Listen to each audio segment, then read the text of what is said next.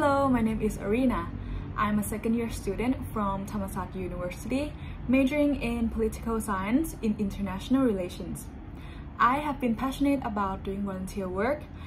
Throughout my high school years and university life, I've been practicing civic engagement, including teaching English, sports, and motivating some soft skills like leadership, communication, and management. My goal for participating in YSEALI Academic Fellowship Program is to understand the roots of uh, problems in different societies and to contribute to sharing ideas and discussions with people from a diverse background so that we can help each other to find possible solutions together to help them. I'm planning to lead a volunteer project in my community in a rural area in Thailand and will be assisting them with education, renovation, and projects in different aspects that are suitable for their well-being.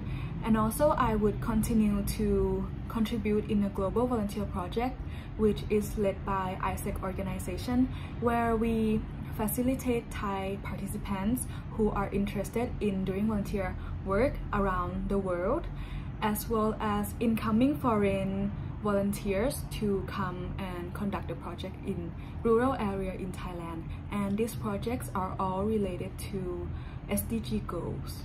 And I believe that YSEALI Academic Fellowship is an opportunity for me to develop social interactions in a multicultural environment.